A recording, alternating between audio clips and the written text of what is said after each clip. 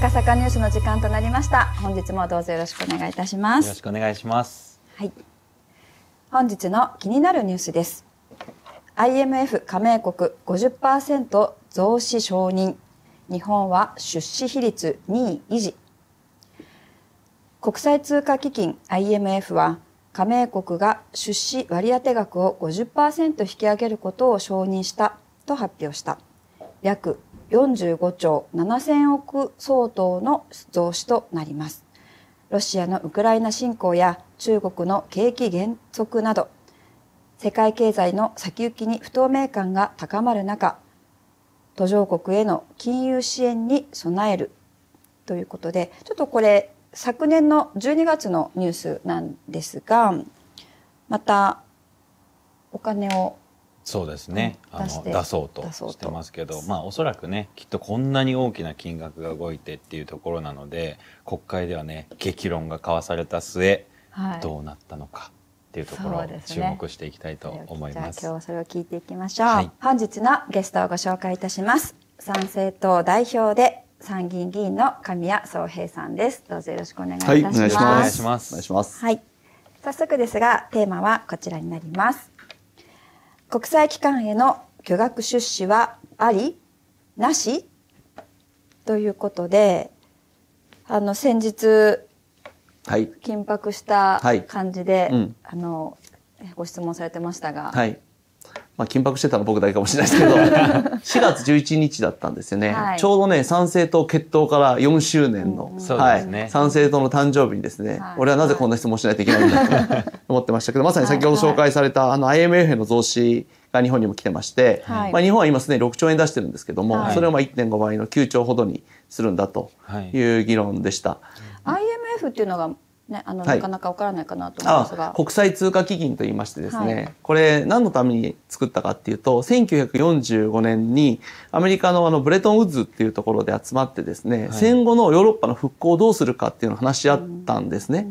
でその時にもうイギリスはもう植民地がいっぱいあってそこにお金が回らないと。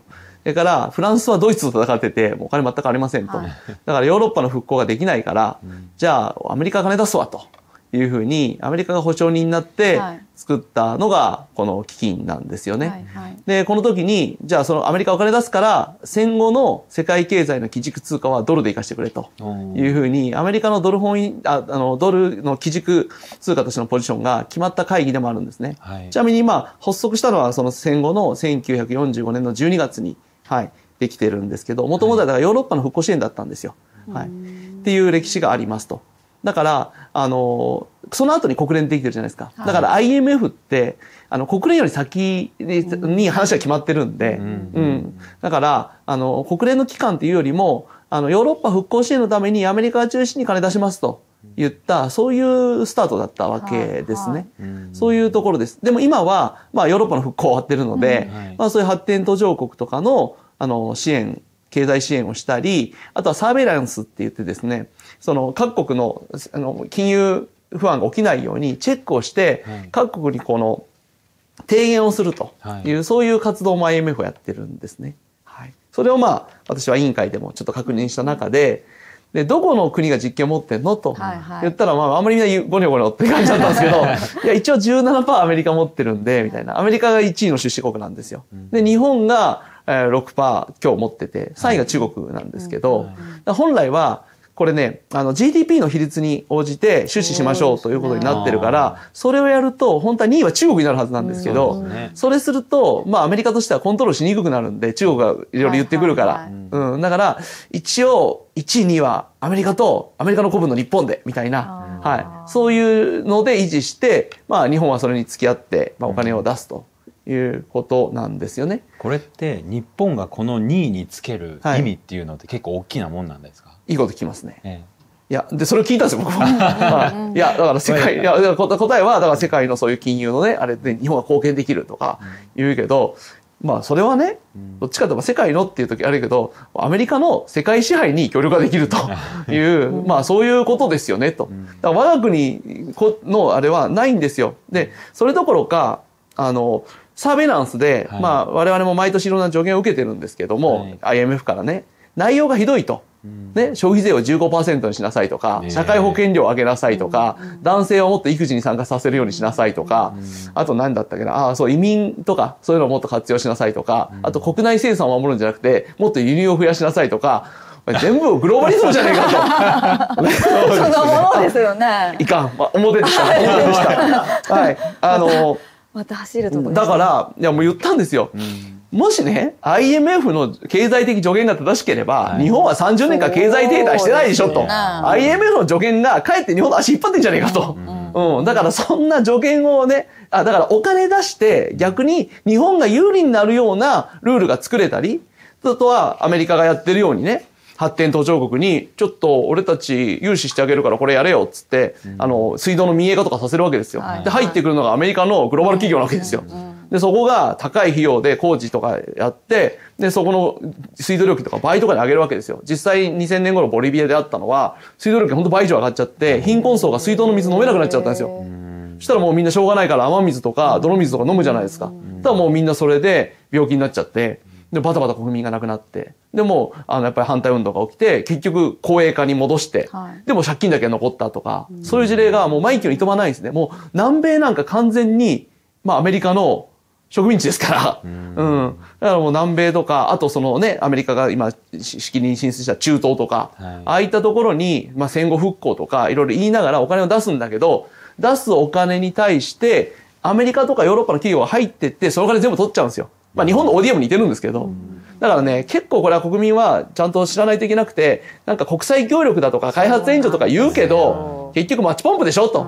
自分たちで 問題作っといて、そこにお金と企業を送り込んで、結局自分たち儲かるように仕組みにするでしょと。だから途上国の皆さん、結構怒ってますけどと。で、日本は意外ときっちりやるんですよ。だ日本の ODA は評価高いんです。はいはいあの、もちろん日本の企業にもお金もあるんだけど、日本じゃやっぱりそこは良識があるからそうですね、ちゃんといいもの作って帰ってくるんですよ。けどね、そんな人たちばっかりじゃないから。はっていうことを、まあ一生懸命ですね、IMF と同時にできた世界銀行とやってて、日本じゃなんかね、国連、IMF、世界銀行、ね、すごーいってなるじゃないですか。そうそうそう このお人よしがって感じですよ。そうだね、世界のリアルをもっとちゃんと見ろと、いうことをですね、委員会で言っちゃったんですよね。い。言っちゃいましたね。あの、表現はだいぶ緩めましたよ。ね、先輩方いっぱいいるから。でもやっぱりまた空気が凍ってですね、若干のヤジが飛んでいたということですけど、でも、びっくりしたんですよ。参政党だけかと思ったら、共産党の方も同じようなこと言っていて、共産党の議員さんから、いや、考え方が一緒だねって、終わってからちょっと褒められたっていうですね、そういう裏話もありまして、考え方一緒でしたか。はい。まあまあ、それは別に共産党さんとでもね、同じことは同じで、ああの、いいと思うんですけど、でも、結局、まあ戦後レジームなんですよ。すべてそうです。ね。はい。だからもう我が国は大東亜戦争で敗れてからですね、ね、まあ大東亜戦争って呼び名がダメだとかって自衛官がね、叩かれてましたけど、僕はもうわわざと2回か3回大東亜戦争って言いましたから、はい、もう国会議員から言うしかないんでね。はい。自衛官が言いやすくするためには。そうですよねだからね、私嬉しかったんですよ、自衛官が大東亜戦争で書いてくれて。あーそうですねあこれは参政党効果じゃないかと。うんうん我々毎日大東亜戦争って言ってますから。かもしれない。だから、このじ IMF も大東亜戦争後の戦後レジームなんですよ。はい。だからその体制をね、まあ我々負けたから、これも言いましたよ、委員会で。負けたからしょうがないから、僕も大人だから分かっちゃいると、はい大人の付き合いがあるのは。はい ただ、いつまでもそれに甘んじてるようじゃ、国会議員としてダメなんじゃないのかという葛藤をね、自分自身が持っているんだということも伝えましたけどね。うん。でも、本当あると思いますよ、国会議員の皆さんに。本当にこれでいいのかなと。これが日本の攻撃かなのかなってあると思いますけど、でも、まあ今日、えーっと、中老が12日なんですけど、はい国会で参議院ももう、えー賛成多数で可決されたんで、まあ、ささらに、まあ、外為、えー、と会から、まあ、また3兆円ぐらい余分に保証するんだと思います。はい。そういう結果になりました。反対意見の時にね、きちっと言ってくださったんですけどね。はい。まあでもね、ああいうことをきちっと論理立てて、歴史的背景も少し触れてね、議事録に残しておくことが大事で、将来ね、またそういう動きを誰かが思った時に、あ、ちゃんと令和6年に参政党の神谷宗平っていうちょっと頭のおかしい議員が 言ってると。ね。だから議事録見たら、はいあれ？はなんかこのへ令和4年ぐらいから変な議員が一人いるぞと 言って、後世の日本の国会が気づくわけですよ、これで。ああもう何十年も前から言ってたんだと。ありますもん、私も調べてたら。ああもう随分と前に問題提起してらっしゃったからいるなと。でももうね、20年とか30年前なんですよ。そういうの言ってた人って。だからそういう国会議員今いなくなっちゃってるんで、だからもうあえてですね、渦中の栗を拾うつもりで、そうですね。まあもう火傷してますよ手が。はい。やけどだらけで。やけどだらけです。もういつももうねメあのメモ塗ってる感じです。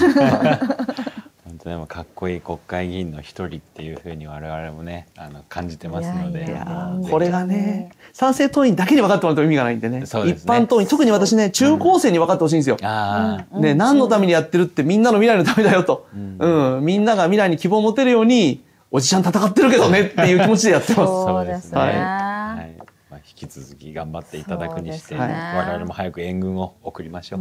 はい、またねこの国際機関の休学出資もあるし、はいまた明日はあの消費税のはいことについても、はいまたちょっとここ前線で戦っていただかなきゃいけない案件が、案件はいもうね、戦わせすぎ、皆さん僕を。休ませて。ありますので、そちらをまた明日聞いていきたいと思います。それでは後半コンテンツについては当院は無料で視聴が可能です。当院でない方はニコニコ動画の方でご覧ください。詳しくは概要欄をご覧ください。それでは今日も神谷さんありがとうございました。引き続きよろしくお願いいたしありがとうますござい。ました。いつもご視聴ありがとうございます。皆様にはチャンネル登録といいねボタンをよろしくお願いいたします。